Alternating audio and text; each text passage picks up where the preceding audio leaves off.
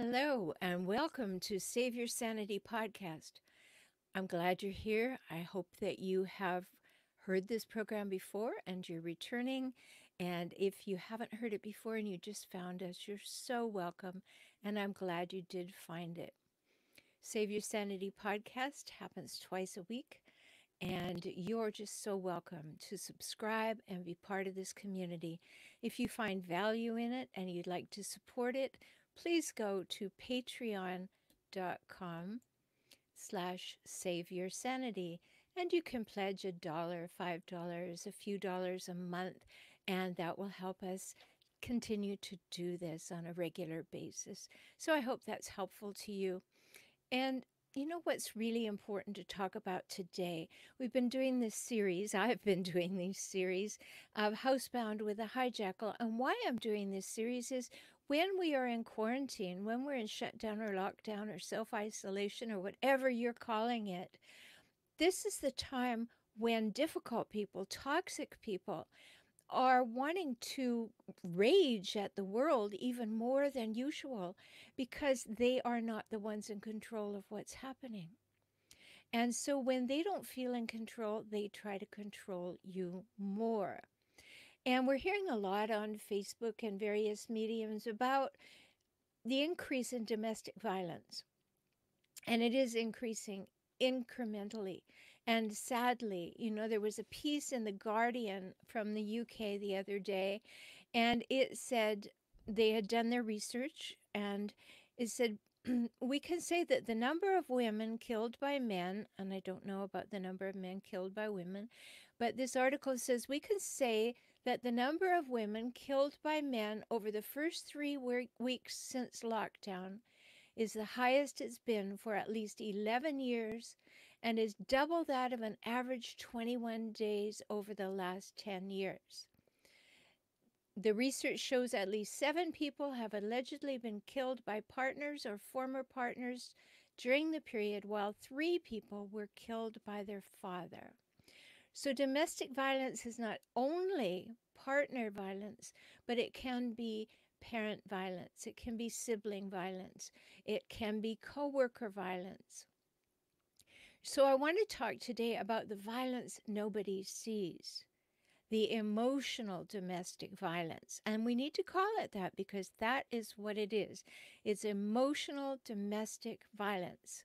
It leaves deep, deep scars but you can't see the wounds, you don't see the bleeding, you don't see the bruises and cuts, you don't see the casts, you don't get the x rays, none of that, but it is sometimes much worse. I've had many clients say to me that the emotional damage that has been done to me is greater than the times I went to the hospital. And you know, going to the hospital many times will help heal a physical abuse situation. But healing an emotional abuse situation takes so long. So it's kind of like that urban myth, you know, about how to cook frogs or lobsters or whatever one you read is that you put them in cold water and then you slowly turn up the heat and they don't notice. Well, that's kind of the way it is with a hijackal, a relentlessly difficult, toxic person everything seems fine in the beginning. They're charming, they're wonderful, they care about you, they go out of their way for you, they plan things, they seem to know you like no one else ever has. And so you're charmed and you're sure that you have found your soulmate. And that's the love bombing phase. That's the number one way that we're going to talk about to begin this program. But when you are in that phase, nobody can tell you anything. Have you noticed that? How many clients and I have clients all over the world and you know if that interests you you can always find me. But how many clients have said to me that my friends didn't like him my mother didn't like him nobody liked him or her they told me not to do it they told me stories about them and i had this feeling like oh it won't happen to me this person really loves me. And you felt special because they had made you feel special and that's only natural. Of course, we all like to feel special. And so we go down the path. No, it's not that we're incapable of understanding. We're just so much in a hormone haze because we have all of this wonderful excitement, this higher level of serotonin and well being and being loved and dopamine. We're washed in it. And then slowly, usually, it begins to erode sometimes slowly over a few days, a few weeks, a few months, a few years, but it does. So I wanted to talk to you today directly about 16 forms of emotional domestic violence so you can just kind of wake up to it again ask yourself is this really what I'm experiencing now? Or somebody I love, are they experiencing it? Are they coming to me and telling me it's happening? And I am making excuses for them or telling them it's not so bad because maybe I don't believe it or I don't know what to do about it. So hopefully, this will help us all remember that when people are being emotionally abused, this is emotional domestic violence. And we need to hear them. We need to believe them. We need to become interested and see what we can do to help. So, I'm going to talk about these 16 things. And you know, if at any time you want my help, you can always find more help, more information about my blogs, my books, my courses, Saturday support sessions, my membership site, everything at forrelationshiphelp.com. So that is always there for you. So let's talk about these 16 things because they are so important. You know, as I said, you get you get used to being treated poorly over time, you know, that water heats up and you know, it's okay, it's okay, it's okay, it's okay. And then pretty soon it's like walking on hot coals all the time. And it's very uncomfortable. And what are hijackals good for? Well, they make you second guess yourself. If you're a good person, you're thinking, oh, well, maybe that's not what they meant. Oh, they didn't intend that. They really love me, but they're having a bad day. They make you second guess that gut feeling that you had that, hey, this is no way to treat me. And yet you don't honor yourself. You want to give them the benefit of the doubt. So they cause you to second guess yourself. And then they cause you to question your sanity. Did that really happen? Am I making a mountain out of a molehill? What's really going on here? These are things that are common. So if you are nodding your head right now and recognizing that, yes, I do second guess myself and question my sanity, know that that's common to this experience, common to these 16 forms of emotional domestic violence. And yes, emotional abuse is domestic violence. It happens in the home and it violates you. And just because you don't go to the hospital for it, there are no cuts and bruises, bandages, and casts to show for it. It is equally as dangerous, if not more dangerous, because the effects are much longer lasting. So let's look at these 16 forms of invisible emotional domestic violence. Now, I'm going to go through them fairly quickly because I want to bring them all to you today. However, I do talk about many of them in other podcasts and videos on my YouTube channel. The YouTube channel is for relationship help. So go there if you're looking for something, put in a keyword, find it, subscribe while you're there, because then you'll always know when I put up another video. So let's look at these. Okay, I mentioned the first one before. That in in fact, this love bombing thing that goes on, yes, that's how they get you in the first place. They love bomb you into thinking that they are your soulmate. And it isn't very long before you realize that you may not even want them as a roommate, that it is not a happy circumstance. But they love bomb you into that gotcha. You know, in my book, um, Escaping the Hijackal Trap, there's a whole chapter called The Gotcha Factor. You know, they're in a hurry. They can't keep up their charade very long. They can't keep up their facade of being this wonderful person who really cares about you, loves you deeply, and wants to please you. They can't. So they want you to move in with them or marry them or have children with them or do something really quickly. And that is a big sign. If somebody's in a rush, put on the brake pedal. That's when the love bombing will turn into what it really is. And you will get to see it if you don't buy the love bombing quickly. Very, very important. So, what's another kind? Another form of emotional abuse is blaming. You know, a hijackal is never going to take responsibility for what they do. They're not going to be accountable for what they said yesterday. They're not even going to be accountable for what they said two minutes ago. They change their mind on a dime and then tell you you don't listen very well. But they blame you for everything because you were close. You know, I've said so many times that hijackals paint a public picture of perfection, but at home they create a private place of pain. And so that's what they do. They blame you for everything. Something that couldn't even remotely be your fault will become your fault because they will not take responsibility for it. And that is emotional abuse. It is inaccurate. It is not truthful. It didn't happen, or it didn't happen in the way that they want you to believe it happened. And that changes everything. So, another way shaming.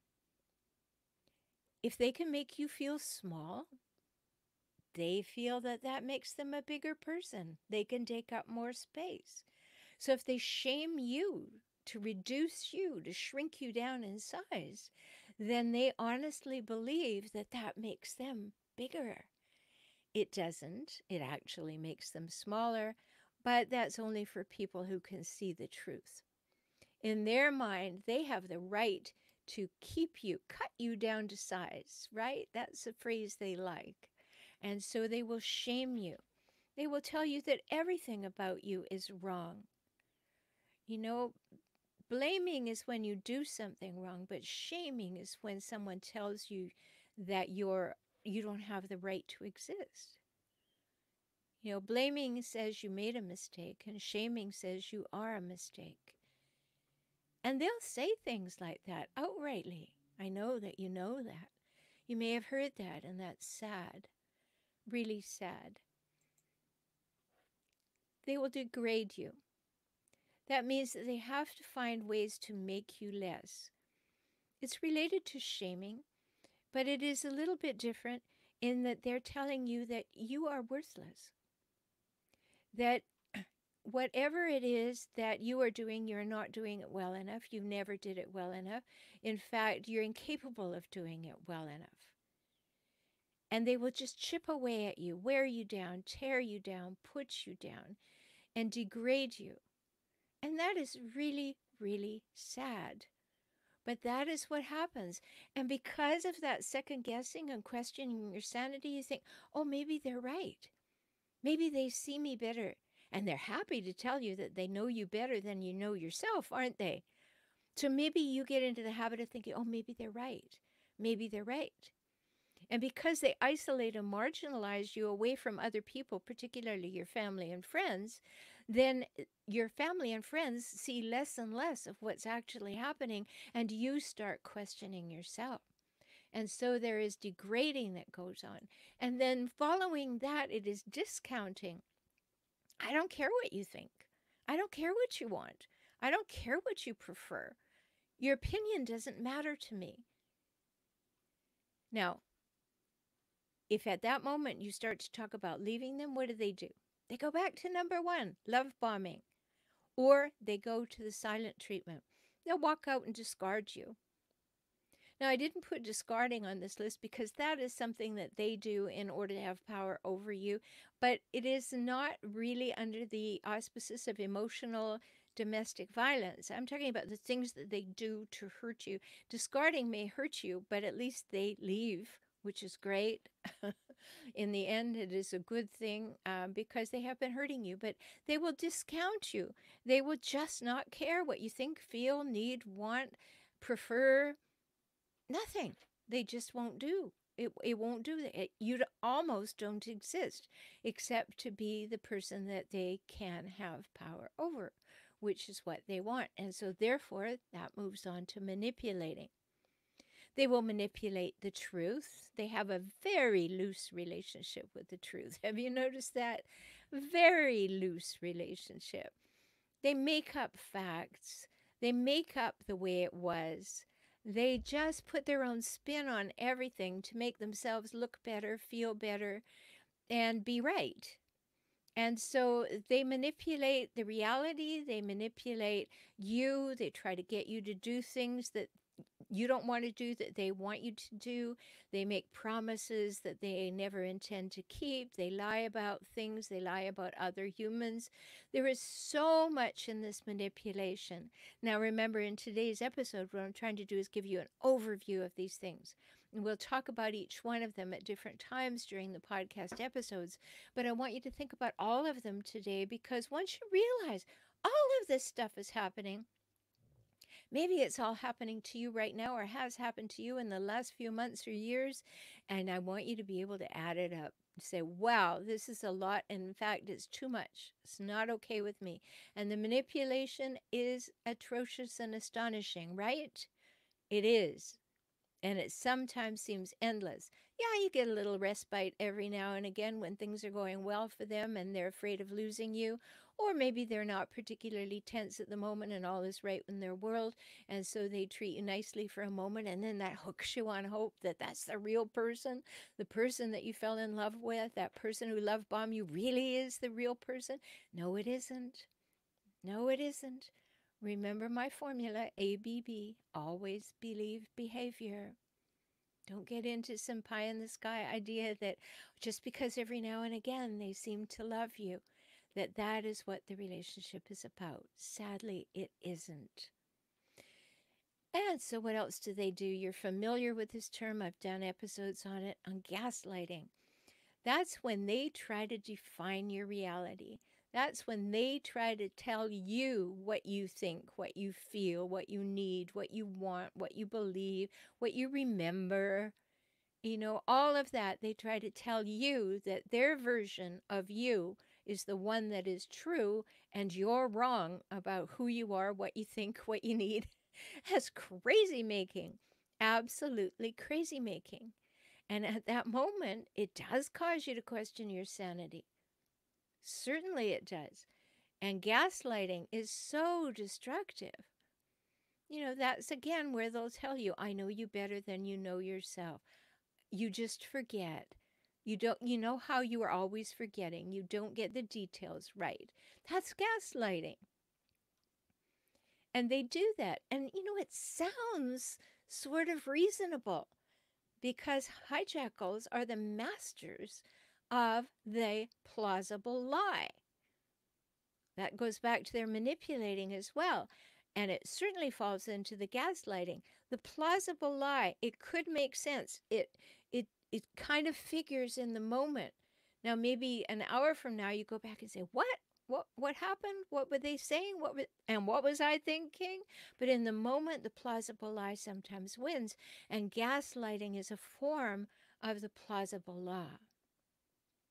Lie, rather.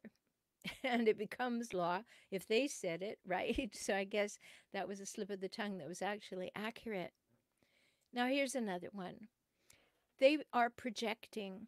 What that means is what they're afraid they did or they feel or they have done or is true about them, they project it onto you and say it's true about you, but not about them.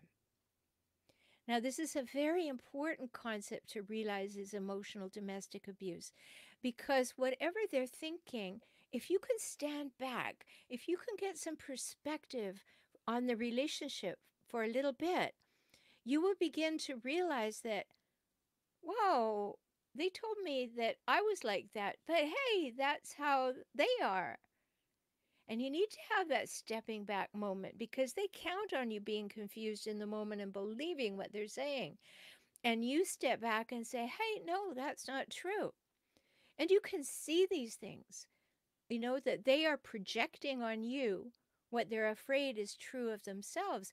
And when you can step back and maybe get a little help, I often help my clients see this that they were telling you who they are by what they were projecting on you. They were telling you what they were thinking or what they were afraid of was true about them by telling you it's true of you. So when you start to understand the projecting behaviors that they're doing, it gives you a moment to be able to step back and go, not my stuff. You know, in last week's solo cast, every week on Save Your Sanity, I do one interview and one like today where it's just me talking to you. I talked about very important life saving ways that were antidotes to the toxicity of being housebound with a hijackal. And that exercise that I taught you in there, the mine and theirs exercise, becomes very important in this projecting business. This is really true about me? No. Here's what's true about me. What's true about them is that, and you learn to separate. So go back and listen to that episode. And they love, love, love to deflect. They don't want anything to land on them. They'll ch- they'll move around. They'll they'll make a circular conversation. Isn't that the most annoying thing ever? They make this circular conversation. It never resolves. It never resolves. It just keeps moving around and around. And they deflect from the conversation topic. They deflect from any shame or blame on them. They deflect by wanting to talk about something different or focusing on the wrong part of the message, not what you wanted to talk about at all. So they're deflect, deflect, deflect. Like, don't get anything don't let anything land on me. So they are deflecting. And when that is going on, it is crazy making for you in the moment because you want to say, No, I wanted to talk about this, but now they're three topics over. And maybe they use word salad. You know that one where they deflect by kind of talking in phrases that don't make sense and don't connect to each other, but kind of you don't want to interrupt, but they're using words incorrectly and linking them together, just taking up airspace. That happens a lot when they're deflecting. They, they know they don't have anything valid to say, but they're sure not going to let you talk. That's a big deal. And then you move on to one I've spent a lot of time on all or nothing thinking.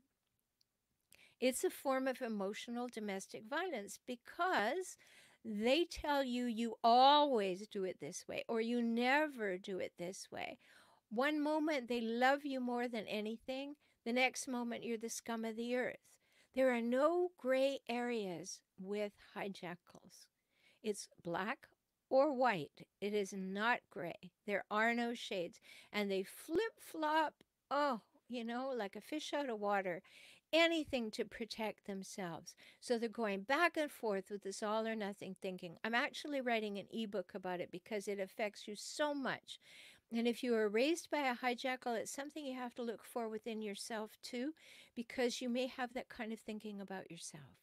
And uh, you really need help if that's the case to see it because it's become just part of you and you don't see it anymore.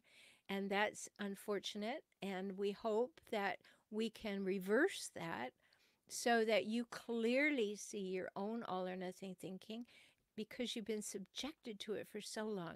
If you were subjected to it by a parent, you won't really notice it as much when you're subjected to it by a partner. And that is unfortunate, but can be changed. So it's very important to see that all or nothing thinking. And then we move on to moving the markers. Ah, so frustrating. They tell you that it will be like this if only, you know, you do this or this arrives or that happens or the sun shines or, you know, the IRS is out of business. But as soon as whatever it was they said would be the thing that would cause them to do things or do things differently, they make another marker. They move it to say, oh no, you know, you I never said that, or it is not enough, or I've changed my mind. And so you never get there. They move the markers. And that is terribly distressing, isn't it? Because you thought you had an agreement. You know, in my video course, Seeing the Cycles, you think you have an agreement.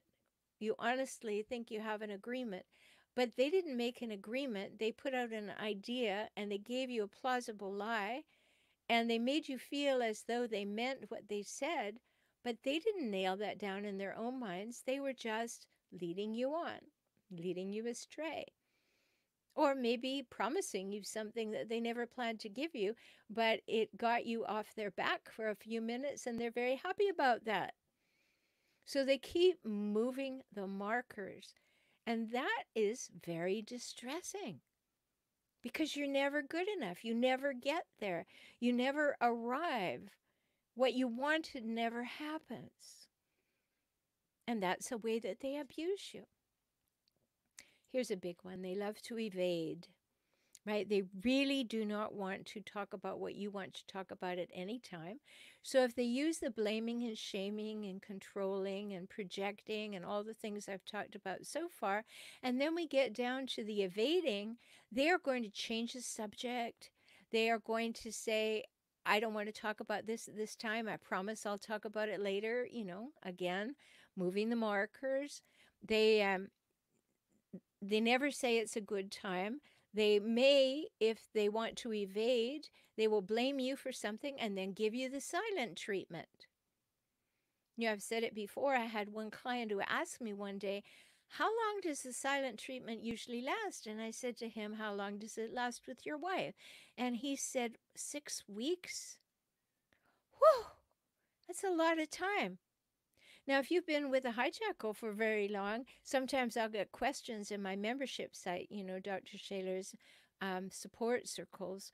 And you can go there when you go to forrelationshiphelp.com. You'll see circles in the navigation, and they'll ask questions about this this very thing, about this whole evasive thing, and they will do it endlessly. They will move on and on and evade and evade and evade. And the question comes, you know, will this person ever do this? Well, the answer is, of course not. They won't ever do that. And then on the silent treatment side, people ask me, well, what should I do about this? Well, they'll tell me their story that they've been with a hijackal for a long, long time, and they may have shared some instances, and then they get to the silent treatment. And if I know the person and I know what they've been going through, and they say, Well, I hate the silent treatment. Well, if you're with a hijackal, maybe it's a good idea to learn to love the silent treatment. Don't see it as abuse, see it as incredible relief. You're not hearing from them. Yes, you have to learn to deal with all these things. You have to learn to make good decisions about how to respond to them. And sometimes you have to come to a lot of clarity to know whether or not you want to stay with them. But if they give you the silent treatment and you don't respond by trying to get them to talk because you're enjoying the silence, they'll soon start talking because they don't want you to be happy about that. They think they're punishing you. So that's one of the ways that they practice this one form of emotional domestic violence is this withdrawing, withholding themselves from you, removing themselves emotionally from the relationship and communication. So they evade. Then there's this big one threatening. Now, they may or may not ever do what they threaten, but they wield a big stick, don't they? They're always threatening, threatening to tell your mother, threatening to tell your boss, threatening to take away money, threatening to hit you, threatening to leave you, threatening something all because these are threats are very clumsy communication tools to have control. And they don't know differently and they don't know better, so they threaten. And if you've been threatened when you were a child, then that ties into that part of you that gets scared. And threatening may work. But it is a form of emotional domestic violence that we need to recognize. You don't go around threatening people, bullies do that. I will show you that I can make you do whatever I want you to do, and I'm bigger than you and stronger than you, and I will crush you like a gnat. That's what bullies do. And hijackals use bullying tactics like threatening. And here's one that I really want you to notice. They stalk you and surveil you. I call it surveillance. This is when they blow your phone up over and over and over you know, I work by video conferencing, so I have clients all over the world. I was working with a client the other day, and she had her phone on the table near where we were talking by video, and it kept buzzing and buzzing and buzzing and buzzing. and it was her partner who was angry.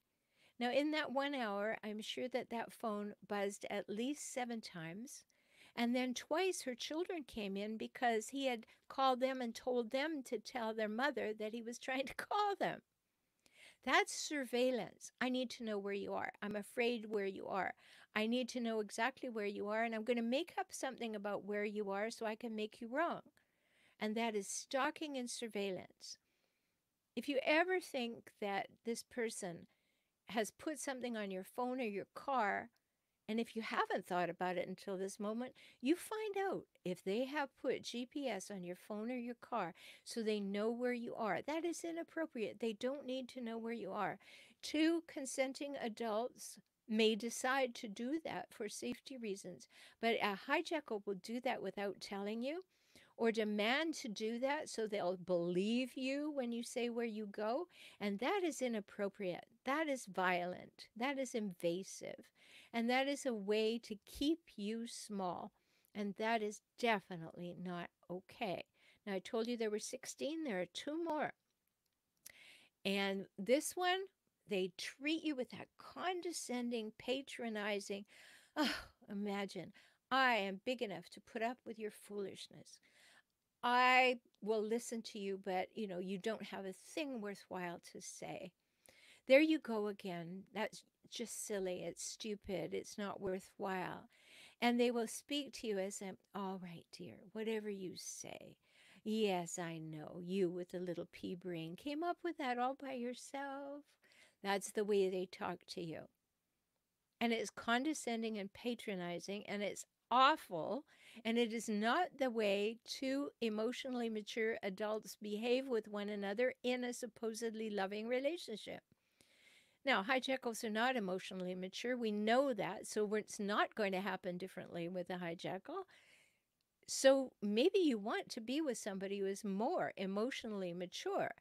But first of all, you're going to have to make decisions about the relationship in which you find yourself. And if you're out of that relationship, get some help to heal all these things because I just bet you've been listening and going, yeah, that happened. Oh, that happened. Oh, I remember that happened. And those things get kind of stored like tentacles around your heart. And we need to work with them. We need to find them. We need to change them. We need to empower you to not have that. So all of these 15 things I give you add up to the 16th one, which is every possible way to Sunday they want to control you. Control, control, control. That's what's important. That's what's top of mind. Dominate, control. Do whatever you have to do in order to be the one in charge, the, the king of the hill, the queen of the valley, whatever it is they have to be the one that makes the decisions and says what is right, wrong, and okay. Control is a big thing, and it's control because they're so afraid that they don't have that kind of power. Now, don't have a compassionate minute there for any more than a second to say that's too bad that somehow they learned that when they were young, but you didn't teach them that, and you can't change that. So, very important to know. So I hope that these 16 things have rung some bells for you. I'm sorry that you have been in situations where those bells have been rung previously, but it is impactful for you to realize, wow, that's a lot of stuff. That is a lot of things that are inappropriate, inequitable, and they shouldn't be going on in an anywhere near healthy relationship. Now, I've mentioned before to you that you can go to beaclient.com if you'd like to have my one hour full session for only $97 to see what kinds of things we could accomplish in your relationship. And I mentioned the Patreon community. So if you'd like to support this podcast, please go to patreon.com slash save your sanity. I'm Dr. Rhoberta Shaler. You can always find me at forrelationshiphelp.com. And every week I remind you, and I'm going to remind you every week from here on in, treat yourself very well because you are precious and you matter.